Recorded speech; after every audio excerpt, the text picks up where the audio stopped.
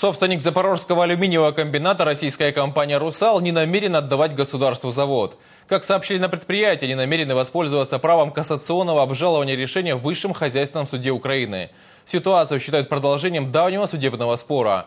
На сегодняшний момент, заявляют на комбинате, завод по-прежнему принадлежит «Русалу», а национализации речи не идет.